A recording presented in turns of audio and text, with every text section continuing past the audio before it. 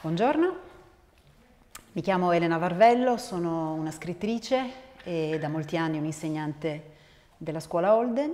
E oggi vi parlerò eh, di una mia ossessione, non direi della mia ossessione, ma di una delle mie ossessioni più grandi, e cioè di Cormac McCarthy. Ci tengo a precisare una cosa, uh, è un'ossessione che non ha nulla di patologico, ovviamente, è un'ossessione eh, tranquilla, è un'ossessione calma, eh, per cui in questo modo ve la racconterò. Eh, piccola premessa, eh, perché mi sembra necessario. Mi vedrete spesso abbassare gli occhi, eh, c'è una ragione davanti a me voi non lo vedete, c'è il mio prezioso PC ehm, e mi sono accorta che ragionando eh, intorno a McCarthy io avevo bisogno di scrivere. Eh, in qualche modo Cormac McCarthy, scrittore, chiama la parte di me eh, che sa eh, scrivere, eh, non che lo sappia fare eh, fino in fondo forse, però che preferisce scrivere piuttosto che parlare a braccio. Quindi tutto quello che io penso di Cormac McCarthy ce l'ho qui davanti a me, è come se avessi scaricato la mia mente su un file del mio PC e quindi quello che farò sarà mh, mm, invitarvi nella mia mente eh, scaricata sullo schermo del mio PC, però vi prometto eh, non vi sottoporrò a una noiosissima, insopportabile lettura, eh, cercherò di guardarvi in faccia il più possibile. Um, direi di cominciare. Um, per cominciare un'altra piccola, minuscola premessa. Eh, c'è una piccola storia che io racconto spesso, molto spesso, eh, riguardo alla scrittura, eh, a cui ho dato un titolo e la storia si chiama Il serpente.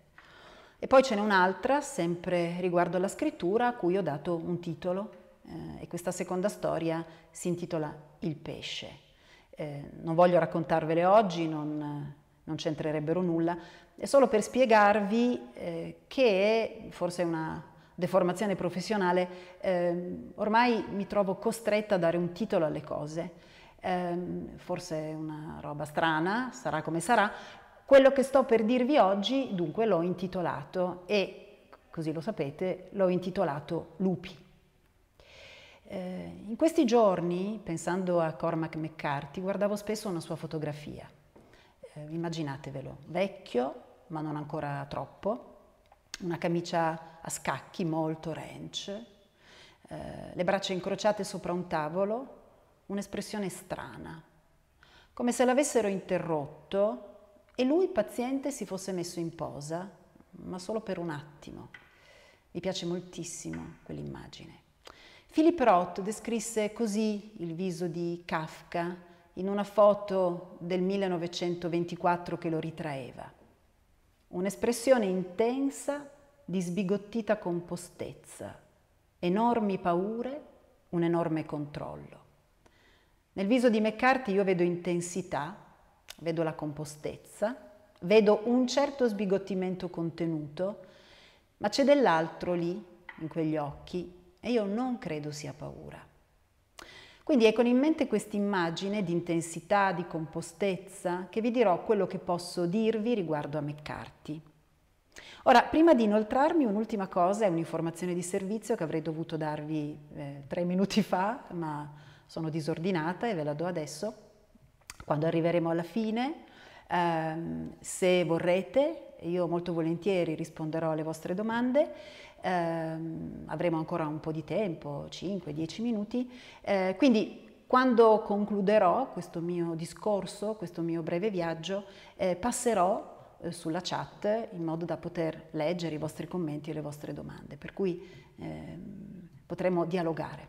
Eh, quel che è difficile e anche paradossale è parlare di un uomo che in realtà non amava affatto parlare di se stesso. Tenete conto una manciata di interviste, ma io credo giusto le dita di una mano, non di più. Allora, per dirvi di McCarthy, eh, vi dirò di me un piccolo ricordo che mi riporta a lui e in particolar modo a uno dei suoi libri, ma non soltanto a quello. Ovviamente ogni parola che dirò sarà soltanto mia, soltanto personale eh, visioni personali. dettagli che riguardano qualcosa, l'opera di un uomo, il lavoro di un uomo, che ho solo l'impressione di capire, sempre che si tratti di capire. Perché io credo fermamente in questo. Ciò che leggiamo accade nella nostra vita, ma proprio nella nostra carne. In questo senso accade nel silenzio e non si, tra- non si tratta mica tanto di capire. Ciò che ne ricaviamo, se di ricavo vogliamo parlare parlando di letteratura, è in buona parte non comunicabile. Sapete quegli istanti in cui alziamo gli occhi da una pagina che stiamo leggendo, certe misteriose, improvvise epifanie, quando pensiamo, ah ecco, sono luci che si accendono e che poi naturalmente si spengono per fare posto ad altro, a un altro racconto, a un altro romanzo, però non se ne vanno. E quindi ecco il ricordo di cui vi parlavo. Andiamo un po' indietro nel tempo. 1996, un giorno, chissà quale, sceglietene voi uno, ero seduta in una delle aule della scuola Holden, che allora affacciava su un viale alberato, sopra un caffè e una panetteria. C'era anche un negozio di vestiti, troppo caro per me. C'erano grandi, bellissime finestre in quella palazzina in stile Liberty. E quel giorno Alessandro Baricco portò per noi, anime giovani, una trentina di ragazze e di ragazzi, un libro. Il libro, che ovviamente conservo, è questo, spero lo vediate. Il titolo è Complessità, uomini e idee al confine fra ordine e caos L'autore Morris Mitchell Waldrop, giornalista scientifico e fisico-teorico. All'epoca costava circa 30.000 lire, se non sbaglio. Ora temo sia introvabile. E Barico disse che ci avremmo ragionato, come ragionavamo sul narratore, un saggio imprescindibile di Walter Benjamin. Ci avremmo pure lavorato, scrivendo un testo. Queste le domande. Quando è che un romanzo può dirsi complesso? Qual è per voi un esempio di romanzo complesso? Da qui in avanti però io non ho più ricordi. Non so neppure se lo scrissi, possibile che no. Provo una grande tenerezza, un certo stupore per quella ragazza di allora, che non sapeva niente e che ve lo assicuro non capiva niente. La mia più cara amica, che conobbi lì, in quella palazzina Liberty nel secolo scorso, e che qualche giorno fa mi ha ricordato in cosa quel testo dovesse consistere, perché lei se lo ricorda, lo scrisse e come, l'ha conservato ed è molto molto prezioso. Ma per entrambe, questo posso dirvelo con una certa certezza, quel giorno aprì come una strada, come uno sguardo, che poi ciascuna a modo proprio avrebbe seguito. E quella strada, quello sguardo, c'entrano con Cormac McCarthy. Ora io non vi dirò praticamente nulla per non umiliarmi riguardo alla complessità, riguardo alla scienza della complessità. E però vi leggo una delle domande d'apertura nella seconda e terza pagina perché mi pare significativa pensando a McCarthy. Una di quelle questioni che sfidano ogni categoria tradizionale e che gli studi sulla complessità tentano di affrontare. Vi chiedo proprio soltanto un istante di pazienza. Eh? Perché circa 600 milioni di anni fa alcune cellule isolate cominciarono ad aggregarsi, dando vita a organismi pluricellulari come alghe marine, meduse, insetti e infine l'uomo? E perché a loro volta gli esseri umani dedicano tanto tempo e prodigano tanti sforzi per organizzarsi in famiglie, tribù, comunità, nazioni e società di ogni sorta? Se l'evoluzione si fonda veramente sulla sopravvivenza del più forte, perché mai avrebbe dovuto produrre qualcosa di diverso dalla spietata competizione fra individui. In un mondo in cui i buoni finiscono troppo spesso per essere ultimi, perché dovrebbero esistere valori come la fiducia e la cooperazione? E perché, nonostante tutto, fiducia e cooperazione non solo esistono, ma prosperano. Complessità, in fondo, racconta una storia la storia della nascita di una comunità scientifica, di un gruppo di umani che ancora lavorano tutt'oggi. La storia di un posto molto strano, direbbero alcuni. Questo posto si trova nel New Mexico, nella città di Santa Fe, fondata da coloni spagnoli all'alba del Seicento, a una cinquantina di chilometri da un'altra cittadina che si chiama Los Alamos, che forse ricordate per il progetto Manhattan, quindi la bomba atomica, e per fisici come Enrico Fermi e Robert Oppenheimer. Nel 1984, una dozzina d'anni prima rispetto a quel giorno in quella palazzina Liberty, a quella media allora, era venuto al mondo il Santa Fe Institute, che poi si insediò un paio d'anni dopo in un convento nel centro del quartiere degli artisti lungo una strada tortuosa che si chiama Canyon Road. Fisica, matematica, economia, informatica, le neuroscienze, una cosa per me completamente oscura chiamata cibernetica, chimica, antropologia, teologia, biologia e poi ancora storia, filosofia, paleontologia. Fra loro, in questa comunità di umani, a un certo punto, stabilmente, uno scrittore. Tutti a lavoro per un'alternativa al pensiero lineare, riduzionistico, settario, dominante nella scienza dai tempi di Newton. Insomma, io mi occupo di questo, tu ti occupi di quello, non parliamo fra di noi o solo il necessario. Tutti a lavoro sullo studio multidisciplinare, cioè letteralmente oltre le discipline, sconfinato, dei sistemi complessi, sistemi in cui, per dirla in due parole, sono diversamente coinvolti numerosi fattori indipendenti milioni di individui autonomi, per dire, alla base di ogni società. Sistemi complessi ai margini del caos, un punto di equilibrio tra ordine e caos. I componenti del sistema non raggiungono mai una posizione stabile, ma non si dissolvono nella, nella turbolenza. Un campo di battaglia perennemente in bilico fra inerzia e anarchia. Insomma, per dirla tutta, la vita. Ma proprio a farla generale, un altro modo di pensare il mondo, di leggere il mondo, ogni fenomeno, le relazioni umane, un altro modo di pensare. Lo scrittore a cui accennavo, ovvio, era Cormac McCarthy. E io mi immagino a quel punto, seduta in quell'aula, in quella palazzina in stile Liberty, a non capirci niente. Piccola nota a margine. Sapete cosa facevo? Quando non capivo niente, cioè buona parte del tempo, disegnavo spirali su un taccuino. È magari un brutto segno. Comunque di sicuro in quel momento stavo disegnando spirali su un taccuino. McCarthy, di cui complessità non parla, viveva non lontano, a nord di Santa Fe, giusto qualche chilometro. All'istituto però aveva uno studio tutto suo, uno studio spoglio, giusto l'essenziale niente di superfluo. Scriveva lì su un olivetti color blu pallido, il cui rumore, dato che pigiava sui tasti molto forte, attirava la curiosità delle persone in visita. Un giovane post-doc che stava trascorrendo l'estate all'istituto un giorno bussò alla porta incuriosito, si affacciò, vide McCarthy, vide l'Olivetti e poi chiese a McCarthy, e quella che cos'è? Non aveva mai visto prima una macchina da scrivere. McCarthy suonava la chitarra a volte o raccontava storie.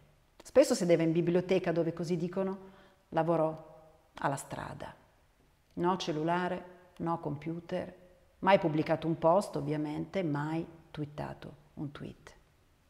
Ma non era un solitario, né tantomeno un misantropo. Amava ragionare, amava discutere, fare domande soprattutto all'ora di pranzo oppure all'ora del tè nel pomeriggio. Faceva domande e stava ad ascoltare. Però non gli piaceva parlare di scrittura, meno che meno della propria, no, mai. Non lo trovava interessante. L'architettura, sì, una grande passione. Frank Lloyd Wright, soprattutto. Se non lo conoscete, cercate le immagini di un suo progetto, probabilmente il suo progetto più famoso, Falling Water e la sua idea di architettura organica. Eh, c'entra con la scrittura, ve lo giuro. La matematica, la fisica, la fisica soprattutto, l'opera di Wittgenstein, di Montaigne, la teoria dei giochi, la paleontologia, la storia, la caccia, la criminalità, l'etologia, la teologia, l'ambiente, corse automobilistiche, la storia della scienza, qualunque cosa, ma non la letteratura. Non sono all'istituto perché scrivo romanzi, per la letteratura. Mi sono intrufolato, disse. Mi piace la scienza, ma devo ammettere ci sono somiglianze. Entrambe, letteratura e scienza, implicano curiosità, l'assumere rischi, il pensare in modo avventuroso ed essere disposti a dire qualcosa che nove persone su dieci non condivideranno. In qualche modo poi, in entrambi i casi, le loro intuizioni hanno a che fare con l'inconscio. Solo una piccola parentesi sulla curiosità. Sentite cosa disse William Faulkner, ve lo leggo. Un tempo pensavo, la cosa più importante, parlando di scrittura, deve essere certamente il talento. Adesso penso che si debba possedere o si debba allenare la pazienza provare e riprovare finché non verrà bene. Ed esercitarsi nell'intolleranza, intendo dire buttare via tutto ciò che è falso. Non conta quanto si ami quel passaggio, quella pagina. La cosa più importante però è la curiosità. Chiedersi, rimuginare, riflettere su questo, perché gli esseri umani fanno quello che fanno. Se si è curiosi in questo senso, non penso che il talento faccia poi grande differenza, che lo si abbia o meno. Sono parole a cui Flannery O'Connor, che mi ha insegnato quasi tutto quello che so, avrebbe annuito. Flannery diceva si scrive per mostrare come si comporta davvero certa gente. E quindi l'inconscio, dicevamo, luogo d'origine secondo McCarthy delle intuizioni che poi diventeranno grandi teorie scientifiche oppure per qualcuno delle storie.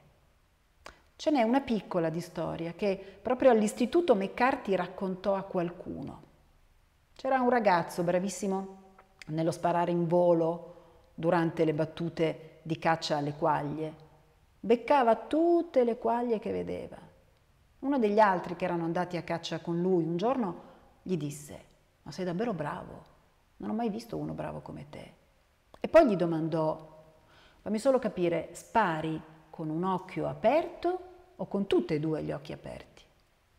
E il ragazzo rimase lì a pensarci, ci pensò a lungo, infine rispose, non lo so. Immagino McCarthy parlasse di se stesso nel raccontare questa storia e immagino parlasse di scrittura. Quel che chiamiamo inconscio è molto più antico del linguaggio, che già ci sembra antico, ed era all'opera ben prima. Pensate a Lucy, l'ominide femmina scoperta in Etiopia nel 1974, datata 3,2 milioni di anni fa. Un ponte fra i primati e l'Homo sapiens. Pensate all'inconscio di Lucy, in cammino nel mondo, sotto il cielo stellato, sotto una tempesta, o mentre dormiva e forse sognava, rannicchiata sul terreno. Pensate al mondo cosa deve esserle sembrato. Ora non è una questione psicologica l'inconscio nell'accezione di McCarthy, biologica piuttosto. Prima del linguaggio quindi, da che mondo è mondo.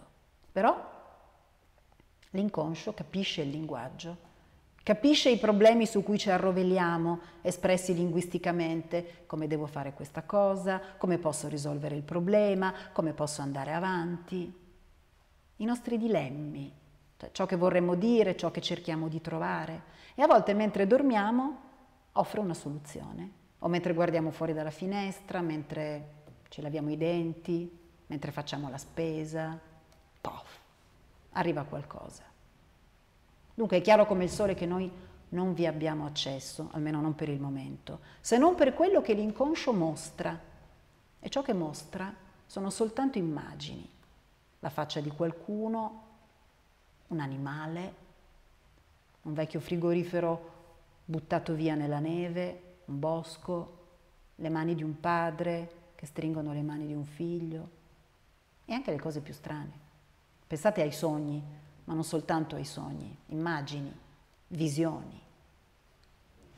La strada che gli valse il premio, il premio Pulitzer, stavo per dire Nobel, vorrà dire qualcosa, incominciò così. Primi anni 2000, in un motel di El Paso, Texas, in cui McCarthy soggiornava con il figlio John, il suo secondogenito, nato nel 98. Ebbene, McCarthy non riusciva a dormire. Così verso le tre di notte, davanti alla finestra, al buio, guardando il paso, le sue luci notturne, le linee dei rilievi, si domandò che ne sarebbe stato di quella città cent'anni dopo. Dunque si pose una domanda.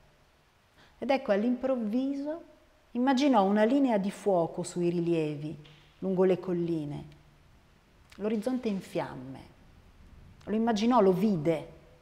Quell'immagine gli risalì dal buio, dal luogo inaccessibile che chiamiamo inconscio, che capisce il linguaggio, capisce i nostri dilemmi e, puff, ci dà qualcosa.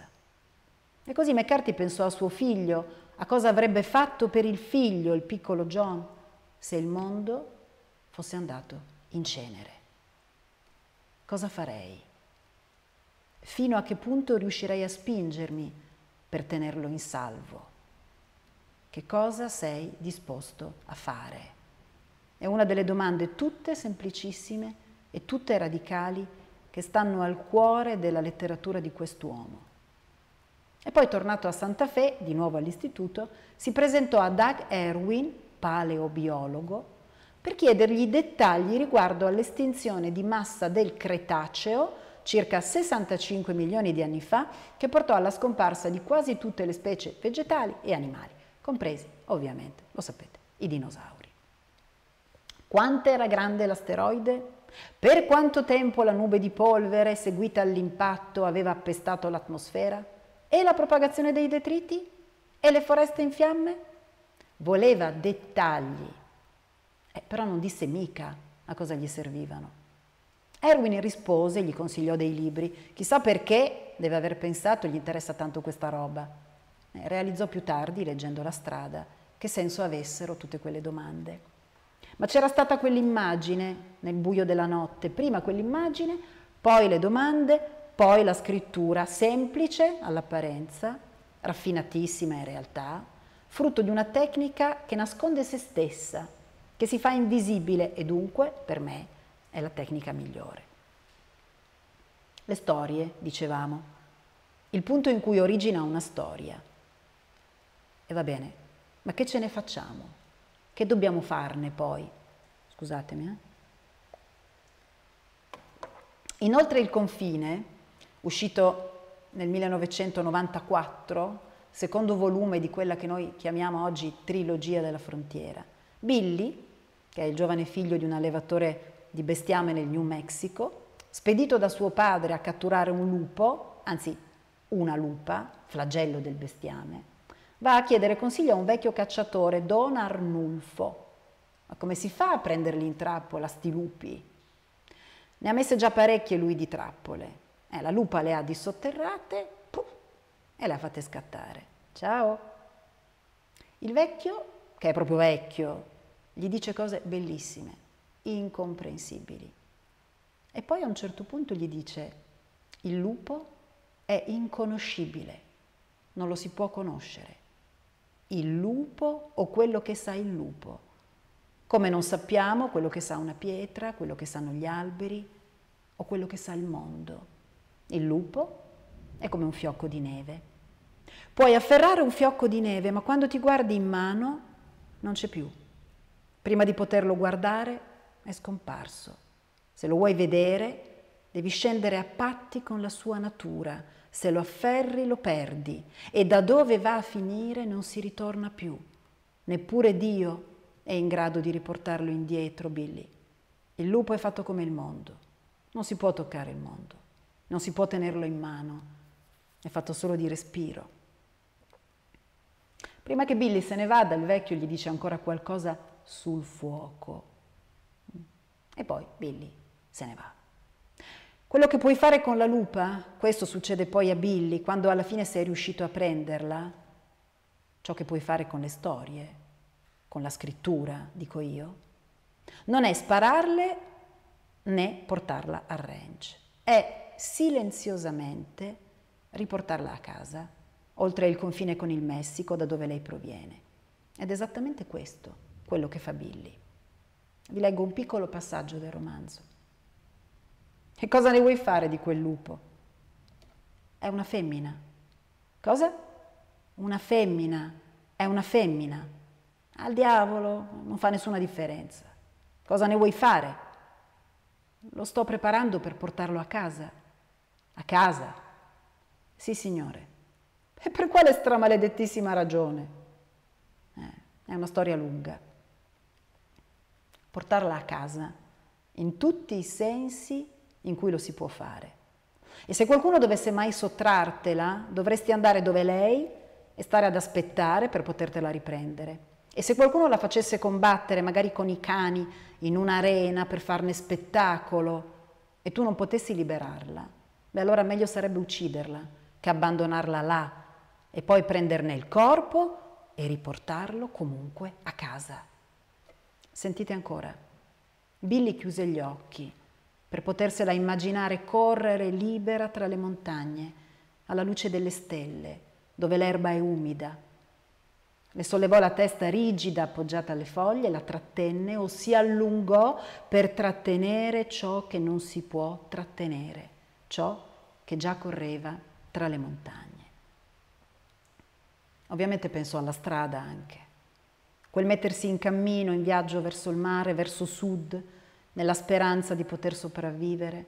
Un padre e un figlio in un mondo di cenere, morendo di fame, morendo di freddo, vedendo cose orribili, esseri umani orribili, il bene e il male, l'orrore, un mondo che non è più mondo, ma proseguire insieme, parlando molto poco, quanto serve. Il ragazzo e la lupa, il padre e il figlio, noi e le nostre storie. Mi diceva Faulkner, serve una gran pazienza, provare, riprovare e riprovare ancora, perché serve pazienza per riportare a casa quel che si deve riportare a casa. Un piccolo passaggio da La strada, bellissimo. Il figlio. Non so cosa fare, papà. Non so cosa fare. Tu dove sarai? Stai tranquillo. Ma io non so cosa fare. Shh, io sono qui, non ti lascio. Me lo prometti? Sì, te lo prometto. E inoltre il confine anche Billy promette. Promette alla lupa che la porterà fra le montagne, costi quel che costi. Le fa delle promesse e giura che le manterrà. Ecco perché vedete, esiste qualcosa nell'animo umano, mi sembra che dica McCarthy, esattamente qui, dentro di noi, un punto vivo, anche se tutto si guasta, se il mondo va a ramengo. Una promessa, una luce, un fuoco. La parola fuoco è ripetuta 72 volte nelle pagine di La strada perché chi legge se la ricordi bene. Un fuoco invisibile, antico quanto il mondo, che continua a bruciare. E tu devi portarlo a casa in questi tempi oscuri, devi promettere e poi mantenere portare a casa il figlio, portare la lupa oltre il confine, portare a casa il mondo a costo della vita, portare ciascuna storia a casa sua. C'è sempre stato e, sempre ci sarà per noi umani qualcosa di più grande, di più grande di noi stessi, per cui vale la pena di mettersi in cammino, che vale la pena di proteggere qualunque cosa accada. E a proposito di promesse, lo sceriffo Bill, protagonista di Non è un paese per vecchi, 2006. Sul finale del romanzo, Bell ricorda un abbeveratoio in mezzo alle erbacce, moltissimi anni prima. Non sa da quanto tempo fosse lì, più di cent'anni forse, magari anche duecento. Scavato nella pietra, a colpi di scalpello. Pensate che immagine perfetta pensando alla scrittura un blocco di pietra, uno scalpello, qualcuno che scava la pietra un giorno dopo l'altro, senza proclami e senza aspettative se non ricavarne un abbeveratoio, cioè qualcosa da cui qualcuno un giorno, se avrà sete, potrà bere. E ora vi faccio sentire la voce dello sceriffo Bell.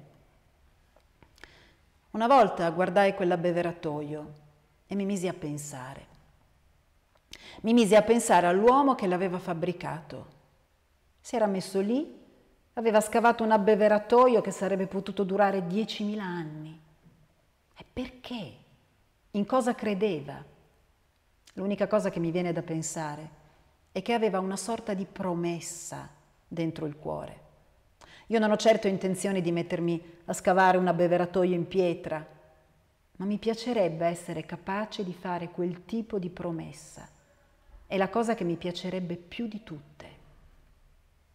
Poco più avanti, Belle ripensa a suo padre. Due sogni, dopo che il padre è morto. Il primo lo ricorda poco, ma del secondo ricorda tutto, perfettamente. Ed ecco questo secondo sogno. Io ero a cavallo e attraversavo le montagne di notte. Attraversavo un passo in mezzo alle montagne. Faceva freddo, a terra c'era la neve. Lui mi superava col suo cavallo e andava avanti, senza dire una parola. Continuava a cavalcare, era avvolto in una coperta e teneva la testa bassa. E quando mi passava davanti mi accorgevo che aveva in mano una fiaccola, ricavata da un corno, come usava ai vecchi tempi, e io vedevo il corno alla luce della fiamma. E nel sogno sapevo che stava andando avanti per accendere un fuoco, da qualche parte in mezzo a tutto quel buio e a quel freddo e che quando ci sarei arrivato l'avrei trovato ad aspettarmi. Il fuoco è la promessa, vedete, la strada, andare oltre il confine insieme a ciò che abbiamo di più caro, riportare ciò che abbiamo di più caro a casa. Una delle pochissime cose che McCarthy disse riguardo alla scrittura, colpo di scena, e io ovviamente ve la devo leggere. Provate a immaginare di ascoltare lui, mm, dovunque egli sia adesso. Allora McCarthy, McCarthy riguardo alla scrittura ha detto questo. Hai sempre quest'immagine della cosa perfetta che non puoi mai raggiungere, ma non puoi smettere di tentare di raggiungerla. Quest'immagine interiore di qualcosa di perfetto è al cuore dello scrivere ed è la tua guida. Non la raggiungerai ma senza di lei non arriveresti in nessun posto. È che devi prendere la cosa seriamente, devi confidare in quello che verrà, devi prendere la cosa seriamente. Le storie, la scrittura, il mondo intero, il bene, il male, una promessa e l'esservi fedeli, l'essere fedeli gli uni agli altri. E quando tutto va a ramengo, quando non resta che la cenere, eh beh, lo devi prendere più seriamente ancora. Nessuna nostalgia dei tempi andati, nessuna speranza di un futuro meraviglioso, ma portare quel fuoco un giorno dopo l'altro, oggi, adesso, tenendosi in cammino nella cenere, portandosi l'un l'altro. Sentite ancora dalla strada. Ho paura. No, va tutto bene. No, invece. Ma sì, era solo un sogno. Ho tanta paura. E lo so. Ascoltami. Cosa? Quando sognerai di un mondo che non è mai esistito, o di uno che non esisterà mai e in cui sei di nuovo felice, vorrà dire che ti sei arreso. Capisci? E tu non puoi arrenderti. Io non te lo permetterò. E così, per chiudere il cerchio, in quella palazzina Liberty nel 1996 una ragazza di 25 anni che disegnava spirali su un taccuino, sempre seduta in fondo, sempre zitta, che non sapeva e non capiva niente, si era imbattuta nella complessità, il punto di equilibrio tra ordine e caos. Vabbè, la letteratura sta in quel punto. Lei, io, l'avrebbe realizzato solo in seguito, e in un modo o nell'altro ci avrebbe speso la sua vita. McCarthy ci è rimasto sempre là, nel punto di equilibrio. Leggete l'ultimo romanzo, Il passeggero, di cui non vi ho parlato per pudore, per una sola semplice ragione. Dovrò rileggerlo una, due, tre, quattro volte prima di potervene davvero parlare. Quel giorno del 1996, non mancava molto, quella ragazza stava per incontrare l'uomo seduto nel suo studio a Santa Fe, New Mexico, con la sua Olivetti blu pallido e il ticchettio dei tasti, l'uomo che amava discutere e fare domande e che non parlava di scrittura. Ma che cosa ne vuoi dire? Quel passeggero in viaggio che le avrebbe insegnato che le cose importanti le devi riportare nel posto da cui vengono e devi andare fino in fondo. Si portano fin là e non un passo indietro, senza parlare troppo. Ci vuole tempo, ci vuole pazienza, magari neppure ci si riesce, ma lo si deve fare, se no di noi non resta nulla, niente che valga almeno, soltanto sogni, soltanto parole al vento. E invece è una faccenda seria. Sentite, un ultimo pezzetto di la strada. Dobbiamo andare avanti, disse l'uomo, forza. Ma non ci vedo, lo so, facciamo un passo per volta. Ok, non mi lasciare la mano. Ok, qualunque cosa succeda, qualunque cosa succeda. McCarthy ha scritto, il mondo non sa che siamo qui, che siamo stati qui, al mondo non importa. Eh, ma noi sappiamo che lui c'è, il mondo, e vogliamo conoscerlo. Noi sappiamo che ci siamo. Io so che tu sei qui, tu sai che io sono qui, in questo momento io so che voi siete qui e voi a vostra volta sapete che io ci sono. Ecco perché scriviamo storie. Stare nel cuore delle cose, lo chiamerebbe Philip Roth, e da quel punto raccontarle. Probabilmente, penso, la mia ossessione buona, tranquilla, per McCarthy e soprattutto per la strada, non è che l'ossessione per la letteratura, per la scrittura e per le storie viste esattamente in questo modo. È la visione con cui ormai io convivo. Senza, credo che mi sarei perduta, perché era quella giusta, almeno per me. E dunque quella visione c'entra con la complessità, con il 1996, con un'amica e con un insegnante, con una palazzina in stile Liberty, bella, con quello che ho promesso come il padre, come Billy, di riportare a casa. Un'ultima cosa che vi vorrei leggere di McCarthy. Beh, queste sono parole ancora del padre al figlio. Beh, io dico che siamo ancora qui. Sono successe un sacco di cose brutte, ma noi siamo ancora qui.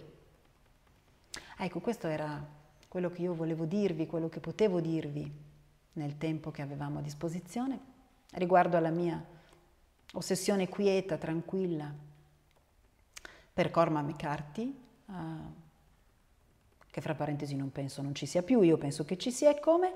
Uh, e ora um, io passo dall'altra parte, um, dove temo che mi vedrò, e questo è inquietante, ma insomma ogni tanto bisogna, bisogna farlo. E, eh, magari tolgo l'audio, potrebbe essere una cosa interessante perché sennò io sento tutto e mi sento anche con un certo ritardo. Eh, io sono qui se, se c'è qualche domanda, se, uh, se avete qualcosa... Ecco, dovete scrivere in chat, sì, ecco, perché io parlo, parlo, ma poi non dico le cose essenziali. Sono proprio un genio, capite? Genio tecnologico. No? Io vedo tutto e vi, vi saluto, vedo adesso i vostri saluti eh, e quindi li ricambio. Eh, avrei voluto che vivesse 200 anni. Di più no? Un po' di più. Eh, Simona, ciao. Io non vi saluto tutti, ma è come se. Grazie. È bello che io mi muovo, però vedo poi i miei movimenti mezz'ora dopo. Interessante. È una forma di sdoppiamento di personalità. Adesso che ho finito di parlare farò questa cosa scorrettissima ho dovuta fare. Voi chiudete gli occhi e non vedete niente.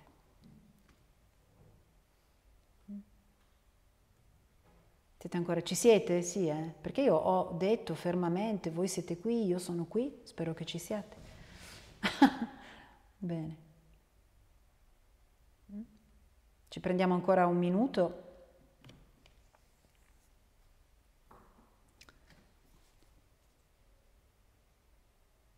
O siete scappati, o siete ammutoliti, o siete sconcertati, O siete, non lo so, una reazione possibile? Oppure conoscete McCarthy molto meglio di me? Ah, una domanda. Qual è il romanzo di McCarthy che, che, che mi ha colpita di più? Ma io ho letto tutto e devo dire che ogni romanzo um, um, è indispensabile. E qui la mia memoria setaccia e diciamo che la mia memoria continua a tenere nel settaccio la strada. Eh, non direi però che sia il romanzo di McCarthy da cui partire, ecco Antonella. Eh, difficile forse partire da qua. Eh, direi di non partire dal, dal passeggero, l'ultimo, se proprio non si conosce nulla di McCarthy, probabilmente dalla trilogia della frontiera. Ecco, io partirei da, da quei tre romanzi. Eh, c'è un aspetto religioso nell'auto Nell'auto? Nella macchina in generale? Perché, perché McCarthy amava le corse automobilistiche? Io penso che ci sia un aspetto, ci sia una sacralità in qualunque cosa. Se, se Nicola, se ti stavi riferendo alle automobili, c'è una sacralità in qualunque cosa, eh, se si è curiosi rispetto al mondo, quindi forse sì. Qual è la caratteristica più importante che definisce un bravo scrittore secondo lei? Indefinibile. Uh, non lo so, mm, non lo so, è difficile. Mm. Hemingway avrebbe risposto così, beh, ci vuole un grande bullshit detector, cioè un rilevatore di stronzate. Mi sembra che questa possa essere una risposta interessante. Um, nell'ultimo il passeggero si può considerare che abbia portato la storia a casa, visto che è previsto un seguito.